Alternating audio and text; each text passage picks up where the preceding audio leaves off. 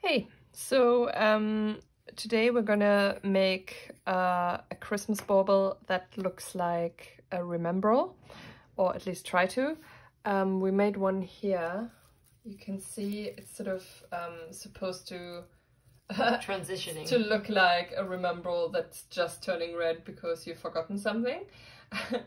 so that's sort of the aim of this. Um, all you need is an arts and crafts shop, um, sort of empty bauble. Most of them have them in various sizes.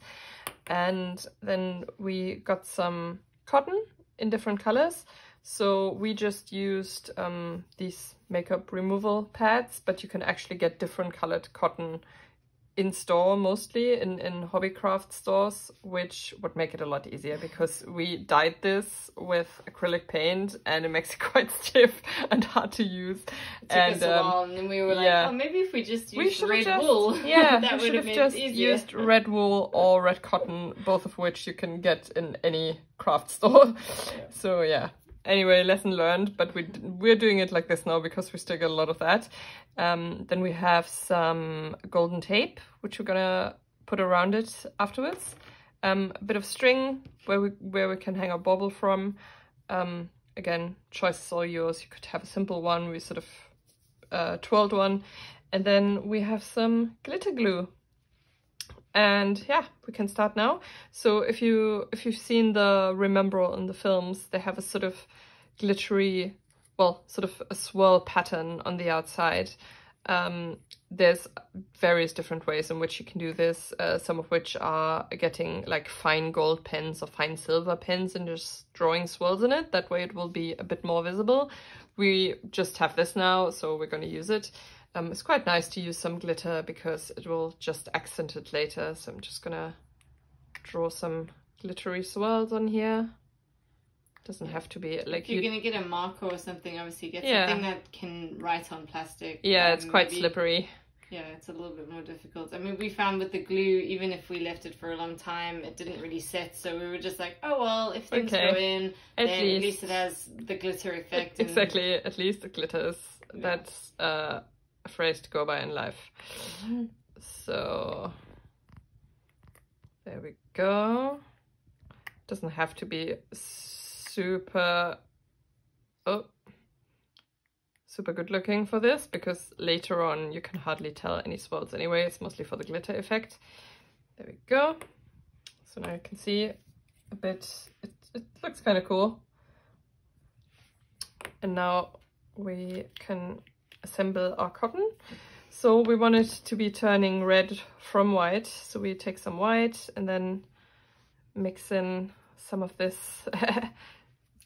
slightly pink. slightly dried out pinkish red that we have. Again, if you use materials uh, that are already cotton or wool, this might be a lot easier. It doesn't have to be tidy anyway. I mean, it's a remembrall. It's just all smoke. Let's see. Should be quite full to get the effect. I would say more red. More red, you're Yeah. right. Get it ready. Let's get it super red. Mm-hmm. Let's make this red. Boom. Because you've got like different kinds of red because of how it's sort of dyed. It, you know, it, it looks, I guess, a little bit more natural. Like it's Yeah, we moving from one totally colour to intended this. there we go. Just closing it up. Okay, this kind of looks bit magical already. Now we want to put the golden tape around this. We've pre-cut a thin slice of tape, so it's half, half the thickness, half the width. Um, and now I just have to be fairly careful to put it all the way around on the About line where hard. it closes. Yeah, I mean it is probably gonna crease a bit. The, the wider the tape, the more it's gonna crease because it's a it's a round shape. So there's no way you can lay down a flat tape without it creasing. And the thinner it is, the easier it's probably gonna be. This way is fine. We're gonna have some creases, but that's okay. Could be old cracks, you know, a vintage vintage remember. uh, the gold cracking. Okay, and now you got this bit hanging over, which we can cut in the middle to sort of lay it around the loop. See, again, you know, it doesn't have to be perfect because the string's gonna go through there anyway. And anyway, this is Hobbycraft, so it's fine. Just trying to make this look a bit more like a Remembrall. You can already see, oh, you forgot something. Okay. Oh, now we have a string that we can just attach to the loop at the top. See whether I can put it through here.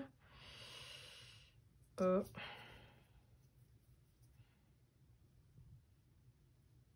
It's not always as easy as the first. Ah, there we go. Okay. Can use anything, maybe something golden would fit as well.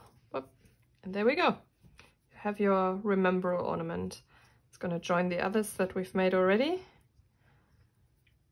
And I hope um, you're going to have some fun with these over the holidays.